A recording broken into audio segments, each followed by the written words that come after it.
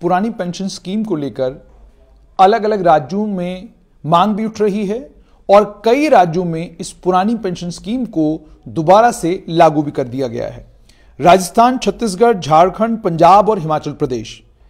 राजस्थान में भी पुरानी पेंशन स्कीम लागू कर दी गई है। छत्तीसगढ़ यहाँ पर भी कांग्रेस की सरकार है, यहाँ पर भी लागू कर दी गई है। झारखंड में कांग्रेस का, के समर्थन में सरकार चल रही है, वहाँ पर भी। पंजाब में आम आदमी पार्टी की सरकार है और हिमाचल में भी कांग्रेस की सरकार है।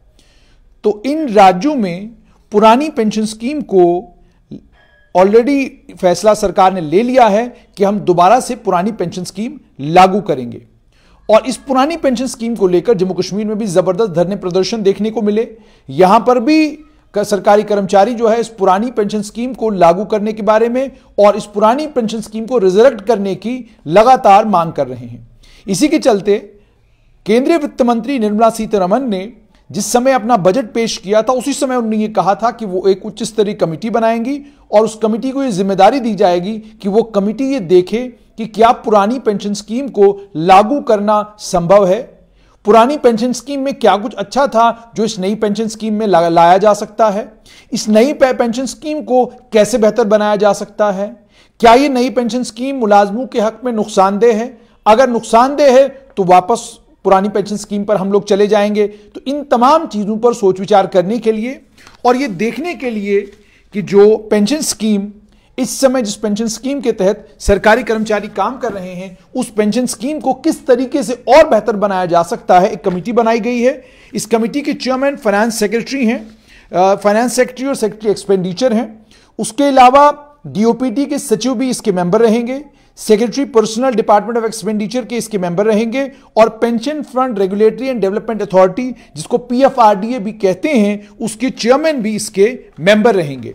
अब पुरानी पेंशन स्कीम में, और आपको यह भी याद होना चाहिए, केंद्र सरकार ने नई pension scheme new pension scheme 2004 introduce की थी। यह कंट्रीब्यूशन पेंशन स्कीम है। जो सरकारी कर्मचारी है, वो जानते हैं कि कंट्रीब्यूटरी पेंशन स्कीम का मतलब क्या है। इसका मतलब यह है कि जितना एक कर्मचारी कंट्रीब्यूट करेगा और उसके अलावा जैसा परफॉर्मेंस रहेगा उस इन्वेस्टमेंट्स का, जो इन्वेस्टमेंट कंट्रीब्यूशंस के ज़रिए की जाएँगी, उसी के तहत एक शख्स को जब उसकी रिटायरमेंट होगी, उसके वक्त में पेंशन का अमाउंट मिलेगा। इसमें 10 परसेंट बेसिक सैलरी का और डीए का कंपल्सरीली जो है वो डिडक्ट किया जाता है और उसके बाद सरकार इसको पेंशन फंड में जो है ऐड करती है।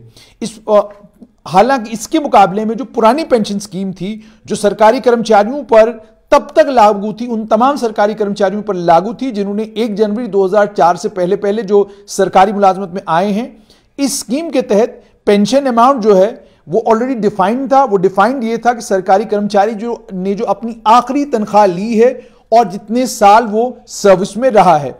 और ये पेंशन का अमाउंट गारंटीड भी होता था और पूरी ज़िंदगी एक पेंशनर को ये पेंशन मिलती रहती थी। आज भी आप अगर अपने घर में देखेंगे, बहुत सारे आपके घर के लोग ऐसे होंगे जिनको आज भी पेंशन मिल रहा है जो आज भी पेंशन ले रहे हैं, यानी जिन्होंने सरकारी मुलाजमत में तीस साल गुजारे, पैंतालीस, पैंतीस साल गुजारे, तीस, पैंतीस साल के बाद रिटायरमेंट हुई, उसके बाद उन्हें एक लंबे वक्त तक वो पेंशन का अमाउंट मिलता रहता है। हालाँकि पेंशन के अमाउंट में भी कमी, बढ़ोतरी बढ़ोतरी और कमी, ये सब कुछ होता रहता है, लेकिन वो एक फिक्स्ड अमाउंट है जो फिक्स्ड अमाउंट मिलता रहता है। लेकिन जब नई पेंशन स्कीम आई और ये जैसे मैंने आपको कहा कि इस पेंशन स्कीम को लागू करने के बाद सरकारी कर्मचारियों ने जब देखा कि इस नई पेंशन स्कीम का हमें फ़ायदा नहीं, बल्कि नुकसान ये कर्मचारी कहते हैं।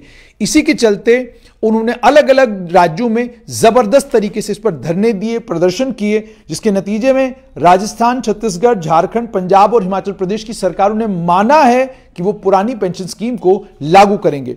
पुरानी पेंशन स्कीम को लेकर केंद्र सरकार की आखिरकार दिक्कत क्या है? पुरानी पेंशन स्कीम को लेकर यह परेशानी है कि इससे इसे फिजिकली इससे फ़िज़िकल प्रूडेंस को लेकर सरकार परेशान रहती है। यानी ये आपके बजट पर खसारे को ऐड करती है, आपके बजट में इस पेंशन स्कीम से कोई फ़ायदा नहीं होता। और जैसे जैसे आपने अपने सिस्टमों को बेहतर करना है जैसे जैसे आपने अपने बजट को और ज़्यादा और ज़्यादा अच्छा करना है जैसे जैसे आपने बदलाव लाना है, उस बदलाव के लिए ज़रूरी है कि ये जो फालतू खर्चे आप करते हैं, इन फालतू खर्चों को आहिस्ता आहिस्ता कम किया जाए ताकि आपकी इकॉनमी जो है वो और ज़्यादा बेहतर हो। ये वो फ़िज़िकल पैरामीटर्स हैं जिन फ़िज़िकल पैरामीटर्स पर खरा उतरने की बात अंतर्राष्ट्रीय लेवल पर सरकारों से की जाती है। इसी तरीके से केंद्र सरकार ने भी यही चीज़ देखी और इसी को ध्यान में रखते हुए कि जिससे हमारे फ़िज़िकल पैरामीटर्स और बेहतर हों, उसी को ध्यान में रखते हुए ये नई पेंशन स्कीम लाई गई थी। अब केंद्र सरकार ने इसमें कमिटी बना दी गई है और कमिटी को ये कहा गया है कि जो इस समय फ्रेमवर्क है स्ट्रक्चर है नेशनल पेंशन पेंशन सिस्टम का, क्या इसके अंदर कोई बदलाव की ज़रूरत है? कमिटी इस पर सोच विचार करेगी। और उसके बाद यह भी कमेटी को बताना है कि क्या कुछ कदम उठाने की ज़रूरत है ताकि इस पेंशन स्कीम को मॉडिफाई किया जा सके, ताकि सरकारी मुलाजमों को और अच्छे पेंशनरी बेनिफिट्स मिले, जो नेशनल पेंशन सिस्टम के तहत कवर्ड हैं, और इसमें फ़िज़िकल इंप्लीकेशंस का भी ख्याल रखा जाए और उसके बाद इस बात का भी ख्याल रखा जाए कि अगर हम इस तरह का कोई बदलाव करते हैं उसका कोई बड़ा असर या कोई बड़ा नुकसान हमारे बजट को तो नहीं होगा। जैसे मैंने आपको पहले ही कहा, वो ऑर्डर में भी यही लिखा है so that physical prudence is maintained to protect the common citizen आम शहरियों को इसका नुकसान नहीं होना चाहिए। उसके बाद इस कमेटी को यह भी कहा गया है कि आप केंद्र सरकार से किसी को भी अगर अपने साथ इसमें कोऑप्ट करना चाहते हैं कोऑप्ट कर सकते हैं, जो आपको इसमें सुझाव दे सके। और आपको स्टेट से कंसल्टेशन करने के लिए भी कमेटी को कहा गया है कि आप राज्यों से भी बात करें। जिन राज्यों ने पुरानी पेंशन स्कीम को दोबारा से लागू किया है, उनके एक्सपेरिमेंट की उनके एक्सपेरिमेंट पर उनसे बात करें, जानने की कोशिश करें कि क्या पेंशन स्कीम लागू करने से उनके, उनको बजट जो उनका बजट है, उसमें फ़ायदा हुआ है या नुकसान हुआ है। पुरानी पेंशन स्कीम को रिजर्ट करके वो पछता रहे हैं या वो खुश हैं।